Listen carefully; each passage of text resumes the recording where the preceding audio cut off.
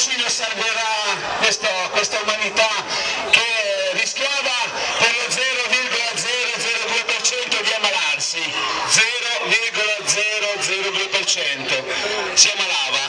E allora loro hanno scogitato questo grande, sacro vaccino che dovrebbe liberare l'umanità. Sappiamo tutti che i morti da malore sono aumentati del 10.000%, no?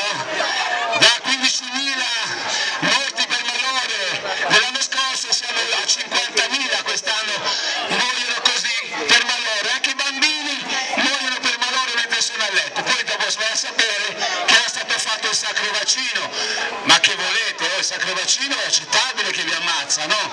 Eh, il Covid dello 0,002% non è accettabile, ma che il vaccino stia facendo, stia vaccinando il popolo italiano, questo va bene, ha capito qual è la storia? E allora noi vogliamo sentire la testimonianza diretta di una persona che si è vaccinata e che ci racconta la sua esperienza.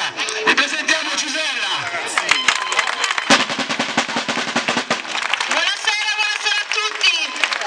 Il vaccino mi ha tolto l'entusiasmo. Ciao Piero. Allora, Sai me cosa si potrebbe fare? Beh, No, ma tanto li è stanno una bloccando così, che Sicuramente Ma vi si potrebbe indurrà dire ai carabinieri No, o dirà già la testimonianza dovete tutti prenotarvi perché è talmente bella che cambierete come? idea. Ovviamente sto dipendenti. scherzando, No, no, sto eh, ho fatto scherzando. tardi. Io ho fatto la prima dose a febbraio perché la mia azienda mi ha gentilmente invitata a farmi la prima dose, nonostante la mia anima sentisse che mm, non andava bene, l'ho messa da parte, ho detto ma dai, ma va, cosa vuoi che sia? È un questo è quello che mi sono raccontata. Ma in quel periodo io ero profondamente ignorante, me lo dico da sola, ci vuole poco a dire, oh, sono ignorante, cosa vuol dire? Ignoravo completamente quali fossero le possibili implicazioni, i possibili effetti avversi, come fosse stato fatto questo dannato siero salvifico. Ho scoperto dopo. Subito dopo la dose, proprio qualche do- giorno dopo, ho iniziato ad avere delle reazioni avverse. Quindi le più semplici, ho iniziato a perdere i capelli a mazzi, a mazzi. E lì ho detto, ma guarda, sono talmente triste. Mio padre era morto da un mesetto, quindi io correlavo qualsiasi effetto avverso al dispiacere per la morte di mio padre. Quindi sono dimagrita, ma in maniera malata, non un dimagrimento sano in maniera preoccupante, ho iniziato a perdere i capelli e correlavo tutto con eh, la scomparsa di mio padre, col dolore, col dispiacere. Ci stava. Ad un certo punto, dopo circa una settimana, dieci giorni, hanno iniziato a comparirmi i lividi in tutto il corpo, senza che io prendessi nessun colpo.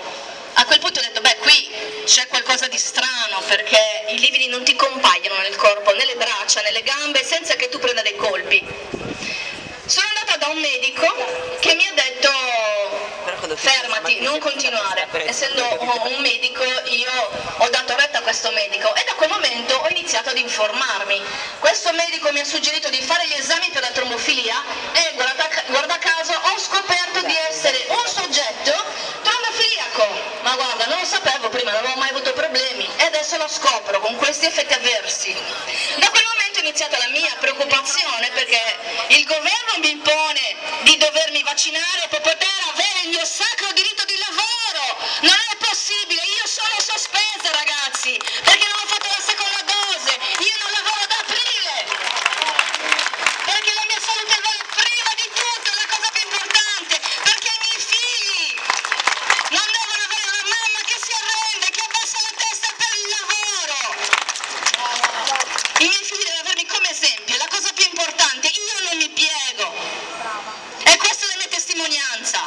Tutti gli altri medici, ogni volta che io mostravo le gambe, le braccia, ma guardate cosa succede. Cosa avranno fatto secondo voi? Potete ridere perché hanno riso. Hanno riso, ovviamente nessuna correlazione. E io pensavo, ma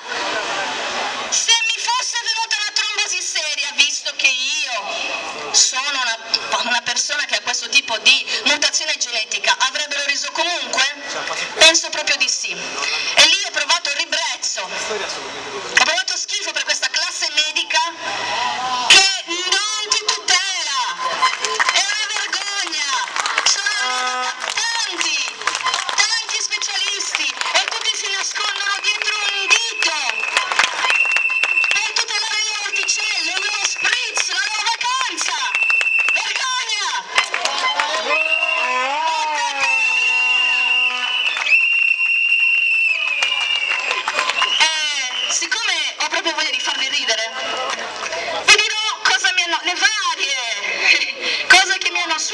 suggerito pur di fare la dose, perché sapete è molto importante fare la, la dose, perché papà Stato te lo dice, perché vuole il nostro bene. Quindi di fronte ai lividi non correlati mi dicevano, vabbè, può tranquillamente fare delle punture di eparina per evitare la trombosi. E beh certo, mi faccio una medicina per evitare gli effetti di un'altra medicina, mi sembra logicissima la cosa. Un altro medico, un angiologo, mi ha detto, gli effetti avversi della seconda dose le do una cura antitrombotica forte, così non succede niente. Cosa mi stai dicendo? Mi stai dicendo che